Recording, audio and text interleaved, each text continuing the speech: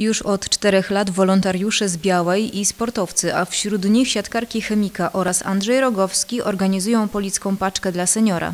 Tegoroczną akcję rozpoczęto 30 listopada w hali sportowej zespołu szkół w czasie meczu ligowego siatkarek. Akcja polega na tym, że zbieramy produkty spożywcze długoterminowe, takie jak na przykład cukier albo mąka oraz produkty chemiczne, takie jak na przykład pasta do zębów, yy, płyn do prania, a później je będziemy roznosić do osób potrzebujących na terenie Polski.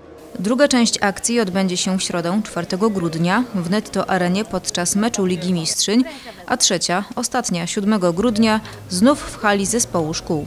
przyjąć, że tak powiem, e, artykuły spożywcze, chemiczne, to co ludzie najbardziej potrzebują przed świętami, żeby, żeby ci seniorzy nie musieli się martwić o to, że im tam zabraknie, zabraknie tych artykułów spożywczych. Wiemy, dobrze wiemy, jakie są emerytury, więc, więc staramy się pomagać, e, tak jak mówię, pomagać seniorom, żeby było jak najlepiej. Organizatorzy współpracują ze spółdzielniami mieszkaniowymi Odra i Chemik, Strażą Miejską i Sołtysami, dlatego znają adresy potrzebujących seniorów. Paczki zostaną im dostarczone jeszcze w pierwszej dekadzie grudnia. W tamtym roku to powiem szczerze, że chyba, jeśli się nie mylę, było pięć samotnych pań takich. Dostały i płakały w drzwiach, nie wiedziały co powiedzieć, bo nie wiedziały, czy, czy, na- czy to naprawdę, czy to jest naprawdę, czy to przyszliśmy do nich, czy po prostu, czy to jakiś e, głupi dowcip. Nie, to nie był głupi dowcip. Rzeczywiście przyjechaliśmy, a to jest takie miłe, to jest właśnie miłe, sympatyczne, jak człowiek stoi taki zaskoczony, nie wie o co chodzi. Jaki Mikołaj, panie, co pan opowiada, jaki Mikołaj? Tak, no taki Mikołaj właśnie.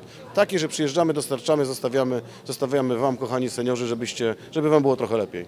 Przez cały czas akcji od 4 do 7 grudnia mieszkańcy mogą przynosić artykuły do hali zespołu szkół przy ulicy Siedleckiej lub do zakładu szklarskiego przy ulicy Przyjaźni w Policach. W ostatnim dniu produkty będą włożone do paczek i dostarczone do seniorów.